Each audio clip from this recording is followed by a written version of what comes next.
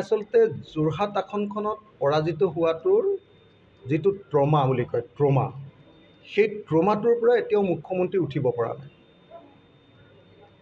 অসমৰ মুখ্যমন্ত্ৰীজনে যে আকৌ কেইদিনমানৰ আগত তেওঁ কৈছিলে যে এতিয়া আমি ৰাজনীতি নকৰোঁ এতিয়া আমি অকল উন্নয়নমূলক কাম কৰিছোঁ। কিন্তু আপোনালোকে দেখিলে যে কালি নে পৰহি তেওঁ আকৌ ৰাজনীতিৰ কথাবিলাক ক'বলৈ ল'লে। আকৌ ফুল ফৰ্মত তেওঁৰ পুৰণি স্বভাৱটো তেওঁ সাম্প্ৰদায়িক স্বভাৱটো আকৌ জাগি উঠিলে।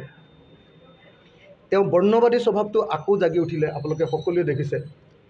তাৰ কাৰণটো হ'ল যে তেওঁ এতিয়াও যোৰহাট লোকসভা সমষ্টিবাসী ৰাইজে দিয়া কোবটো তেওঁৰ কঁকালত দিয়া কোবটো হিমন্ত বিশ্ব শৰ্মাই নিজকে ইমান দিন ধৰি অপ্ৰতিৰোধ বুলি ঘোষণা কৰি আছিলে হিমন্ত বিশ্ব শৰ্মাই নিজকে এনেকৈ প্ৰজেক্ট কৰিছিলে যে য'ত হিমন্ত বিশ্ব শৰ্মা থাকিব তাত মানে তেওঁ জিকিবই আৰু। হিমন্ত বিশ্ব শৰ্মাই নিজকে এনেকুৱা ধৰণে চেম্পিয়ন হিচাপে প্ৰতিষ্ঠা কৰিব খুজিছিলে যে হিমন্ত বিশ্ব শৰ্মা যদি থাকে তেতিয়াহ'লে আন সকলোৰে পৰাজয় নিশ্চিত। তেওঁ অপৰাজেয়। এই যিটো তেওঁ মানে এটা মানে তেওঁ এটা প্ৰচাৰ কৰিব খুজিছিলে নিজৰ এটা ইমেজ বনাব খুজিছিলে সেই ইমেজটো দুহেজাৰ চৌব্বিছ চনৰ লোকসভা নিৰ্বাচনত যোৰহাটে সম্পূৰ্ণৰূপে ভাঙি পেলালে। সেইকাৰণে মানুহটো একদম মানে সাংঘাতিক ধৰণে হতাশগ্ৰস্ত হৈ গৈছে। সাংঘাতিক ধৰণে তেওঁ ট্ৰমাত পৰি গৈছে। সাংঘাতিক ধৰণে তেওঁ মানে কোব খোৱা সাপৰ নিচিনা হৈ গৈছে। কঁকালত একদম সাংঘাতিক ধৰণে কোব খোৱা সাপৰ নিচিনা হৈ গৈছে।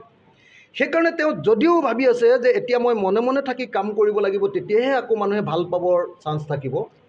কিন্তু যিহেতু তেওঁ এনেকুৱা ডাঙৰ কোব খাইছে তেওঁ মাজে মাজে আকৌ ফটকৈ মানে এইটো কি কৰা কি কৰা বুলি কয় যে আকৌ উঁঠ দি উঠে তাৰমানে তেওঁ। তেওঁ আকৌ মানে প্ৰলাপ বকিবলৈ আৰম্ভ কৰে। সেইকাৰণে আমি দেখিছোঁ যে তেওঁ এইবাৰ আমি আকৌ সাম্প্ৰদায়িক কথা কোৱা দেখিলোঁ। তেওঁ আমি দেখিলোঁ যে তেওঁ সংখ্যালঘুসকলৰ বিৰুদ্ধে আকৌ বক্তব্য দাঙি ধৰিলে।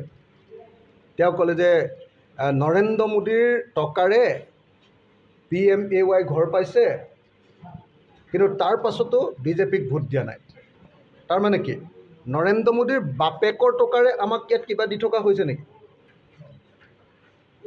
হিমন্ত বিশ্ব শৰ্মাৰ পৰিয়ালৰ টকাৰে তেওঁৰ দেউতাকৰ টকাৰে তেওঁৰ ঘৰৰ টকাৰে তেওঁৰ পত্নীৰ টকাৰে আমাৰ ইয়াতো অৰুণোদয় দি থকা হৈছে নেকি? এই যে তেওঁ যে ক'লে যে নৰেন্দ্ৰ মোদীৰ পৰা লোন খাই কংগ্ৰেছৰ গুণ গাইছে বুলি যে তেওঁ কৈছে এই কথাটোৱে প্ৰমাণ কৰিছে যে আমাৰ মুখ্যমন্ত্ৰীজন এজন অগণতান্ত্ৰিক ব্যক্তি এজন ফেচিষ্ট ব্যক্তি এজন সাম্প্ৰদায়িক ব্যক্তি আৰু তেওঁ কেতিয়াও কোনোপধ্যে গণতান্ত্ৰিক পৰিভাষা তেওঁ কেতিয়াও বুজি নাপায়। তেওঁ নিজকে ৰজা বুলি ভাবে আৰু আন সকলোকে প্ৰজা বুলি ভাবি ৰজাই প্ৰজাক দিছে সেই পুৰণি সামন্তীয় কথাটো তেওঁ ইয়ালৈ আনিব খোজে। তেওঁ বুজি নাপায় যে গণতান্ত্ৰিক দেশ এখনত যিমান আঁচনি লোৱা হয় সকলো আঁচনিৰ ধন ৰাইজৰ ধন। আৰু ৰাইজৰ ধনটো তেওঁ কেৱল বিতৰণ কৰি দিয়ে চৰকাৰৰ মানুহবিলাকে। আৰু বিতৰণ কৰি দিওঁতে তেওঁলোকে কমিশ্যনো খায়। গতিকে তেওঁক এটা আঁচনি লোৱাৰ কাৰণে আচলতে তেওঁক কোনো ক্ৰেডিট দিয়াৰ প্ৰয়োজন নাই। তেওঁক গালিহে পাৰিব লাগে তেওঁক সমালোচনাহে কৰিব লাগে কাৰণ তেওঁলোকে তাৰ পৰা কমিশ্যনে খায়। দ্বিতীয় কথাটো হ'ল অসমৰ মুখ্যমন্ত্ৰীয়ে এতিয়া কৈছে যে শিক্ষকসকলে বিজেপিক ভোট দিয়া নাই। শিক্ষকসকলৰ বিৰুদ্ধে ইটোৰ পাছত সিটো অপমানজনক বক্তব্য তেওঁ প্ৰকাশ কৰি আছে। কোনে কাক ভোট দিব সেইটো সকলোৰে নিজৰ ব্যক্তিগত সিদ্ধান্ত নহয় জানো? সেইটো ব্যক্তিগত স্বাধীনতা নহয় জানো? মুখ্যমন্ত্ৰীয়ে ক'ত গম পালে যে শিক্ষকসকলে ভোট দিয়া নাই? ক'ত? তেওঁ বেলত চাবলৈ বেলতৰ বেলট বক্স চাবলৈ পাইছিলে নেকি? তেওঁ ই ভি এম মেচিনৰ ভিতৰত সোমাইছিলে নেকি?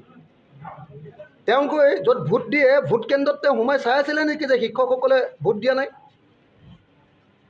আৰু তেওঁ যে কৈছে যে সংখ্যালঘুৱে নৰেন্দ্ৰ মোদীৰ লোন খাই কংগ্ৰেছৰ গুণ গাইছে সংখ্যালঘুৱে তেওঁলোকক ভোট দিয়া নাই কৰিমগঞ্জত যে তেওঁলোকৰ বিজেপি দলটো জিকিলে কাৰ ভোটেৰে জিকিলে?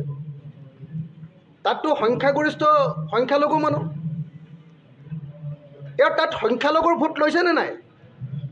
তেওঁ ব্লেকমেইল কৰি তাৰ যিমানবিলাক কৰিমগঞ্জত যিবিলাক ফৰেষ্ট এলেকাত বসবাস কৰা সংখ্যালঘু মানুহ আছিলে তেওঁলোকক ব্লেকমেইল কৰিলে যে তোমালোকে যদি ভোট নিদিয়া তেতিয়াহ'লে তোমালোকৰ ঘৰবিলাক ভাঙি দিয়া হ'ব। এইবুলি সংখ্যালঘুৰ ভোট ল'লে।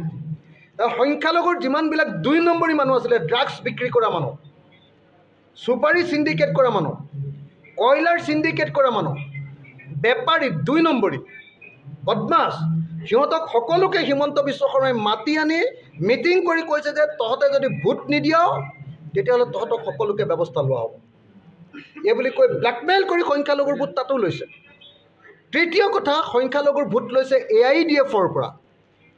আমি কৰিমগঞ্জত এ আই ডি এফৰ ভোটবিলাক চববিলাক চিফ্ট কৰাইছে মুছলমান ভোটবিলাক চিফ্ট কৰাইছে বিজেপিলৈ এ আই ডি এফ আৰু বিজেপি যে ককাই ভাই কৰিমগঞ্জৰ নিৰ্বাচনটো চাই দিলে গম পায় কৰিমগঞ্জত সংখ্যালঘুৰ এ আই ডি এফৰ ভোটবিলাক বিজেপিৰ হাতলৈ চিফ্ট কৰাৰ কাৰণেহে তেওঁলোক জিকিবলৈ সক্ষম হ'ল। গতিকে সংখ্যালঘুৰ ভোট পাই জিকা নাই এই কথাটো সম্পূৰ্ণ মিছা। তেওঁলোকে সংখ্যালঘুৰ ভোট লৈছে। আনকি নগাঁৱতো বহুত সংখ্যক সংখ্যালঘুৰ তেওঁলোকে ভোট পাইছে। কিন্তু সংখ্যালঘু ভোট পোৱাৰ পাছতে কেইদিনমানৰ আগত সংখ্যালঘুৰ ওপৰত লগত নাচিলে নাচ দিলে তেওঁ ডান্স কৰিলে। আৰু তাৰ কেইদিনমানৰ পাছতে নিৰ্বাচন যোৱাৰ লগে লগে আকৌ তেওঁ পুৰণি খেলাখন আৰম্ভ কৰিলে সাম্প্ৰদায়িক খেলাখন। আকৌ তেওঁ শৰাইঘাটৰ তথাকথিত ৰণখন আৰম্ভ কৰি দিলে। আকৌ তেওঁ সাম সাম্প্ৰদায়িকতাৰ হেৰি ৰচনা কৰিবৰ কাৰণে তেওঁ আকৌ হিন্দু মুছলমানৰ ৰাজনীতি আৰম্ভ কৰি দিলে। গতিকে মুখ্যমন্ত্ৰী হিমন্ত বিশ্ব শৰ্মা অসমৰ ৰাজনীতিৰ আটাইতকৈ সাম্প্ৰদায়িক ঘৃণনীয় ব্যক্তিজনৰ নামেই হ'ল হিমন্ত বিশ্ব শৰ্মা। তেওঁ এজন জঘন্য সাম্প্ৰদায়িক ব্যক্তি আৰু জঘন্য সাম্প্ৰদায়িক ব্যক্তি হোৱাৰ কাৰণে তেওঁ এই কথা ক'ব পাৰিছে। দ্বিতীয়তে তেওঁ সাংঘাতিক ধৰণে অগণতান্ত্ৰিক আৰু ফেচিষ্ট ব্যক্তি। শিক্ষকসকলক যিধৰণে বাৰম্বাৰ তেওঁ অপমান কৰি আহিছে প্ৰত্যেক দিনাই শিক্ষকসকলক তেওঁ মাল বুলি কয়। শিক্ষকসকলক তেওঁ মদ খোৱাক লৈ ইনচাল্ট কৰে। শিক্ষকসকল অথচ তেওঁ নিজেই আকৌ গোটেই অসমত আটাইতকৈ বেছি মদ বিতৰণ কৰা চৰকাৰখনে হ'ল বিজেপি চৰকাৰ।